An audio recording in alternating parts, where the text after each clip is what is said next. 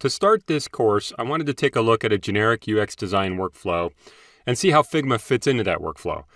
I also want to discuss the Figma feature set and mention just a few things that set Figma apart or that might be a little different, and also show a bunch of the current tools that compete with Figma for your projects. So let's dive in and answer what is Figma?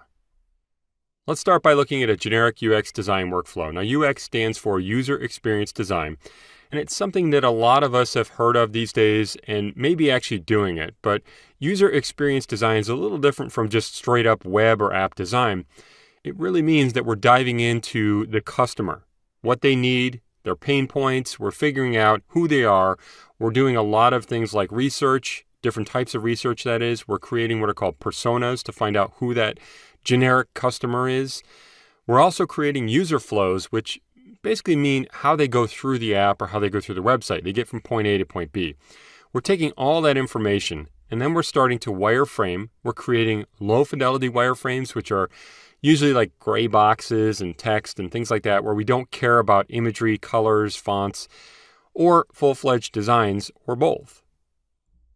Then we're creating a working prototype. We're trying to figure out okay, before we build this widget, maybe an app, maybe a website, how can we make it to where people can test it out on device? They can tap on a button and go to another screen, for instance, and actually get a feel for how it's going to work. We can then share it with people, test it, gather feedback, and then start to iterate or change, make changes based on the feedback we receive. And finally, we're going to go out and build. Now, this is really generic. Depending on your project, your company, whatever, there could be a lot of other points in here. Figma actually fits squarely right in here. So it's going to allow us to go in and design wireframe if we want, low fidelity or high fidelity, create a prototype right within Figma, share it, test feedback, gather that feedback, and then iterate, keep going.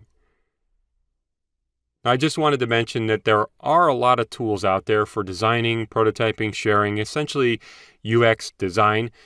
We do have Figma, we have Adobe XD, which really does a lot of this as well. We have Sketch, we've got InVision, Proto.io, Marvel, and just so many more to even count. But I just wanted to make you aware that there are a lot out there. Figma is just one tool that we can use.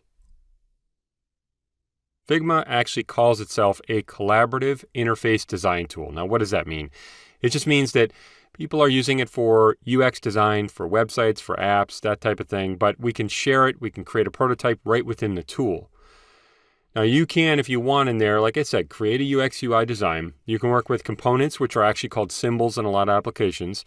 You can apply effects like drop shadows, different things like that, blurs.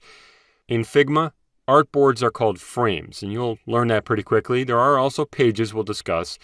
We have the ability to look at or work with versioning to version our content so we can go back in time if we don't like a version of something. We also have vector networks, which are just a different way to draw. You'll see it's pretty cool actually. We can share in real time collaboration, which is pretty impressive, honestly. You can see different people looking at it at the same time as you, right within the project. We have team projects and sharing different content. We have commenting in real time. We have prototyping. And we also have code. You can look at and copy code from certain features or objects within the prototype or the design. So, with a basic understanding of what Figma is, let's jump in.